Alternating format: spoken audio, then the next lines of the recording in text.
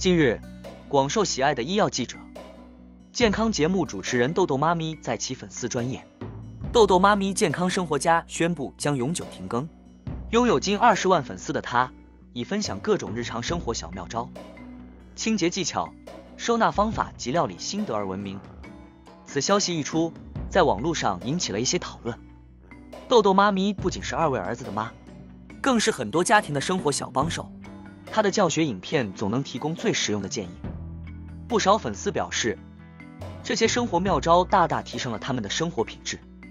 对于豆豆妈咪的暂停更新，粉丝们纷纷留言表达惋惜及期盼她早日回归。豆豆妈咪也在停更粉砖前的最后直播，忍不住落泪。目前尚未有明确消息指出她此次停更的原因。但不少粉丝猜测与其经纪公司有关。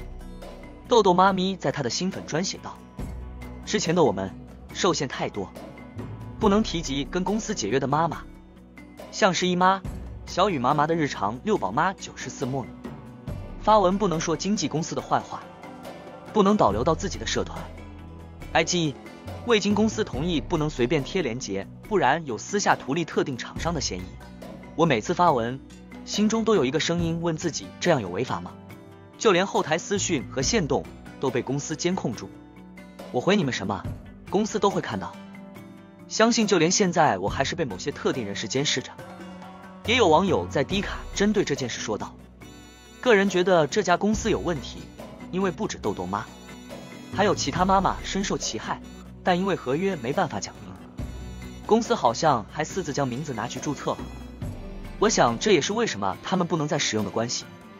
其他网友也指出，豆豆妈咪因本人先注册了，才能在新粉专沿用这个名称。曾在同公司的小雨依依妈则被迫改名。目前没有明确证据证明上述说法，但可以推测豆豆妈咪健康生活家粉专的停更，很可能存在不可抗的外力因素。大家对于这件事有什么看法？欢迎留言讨论哟！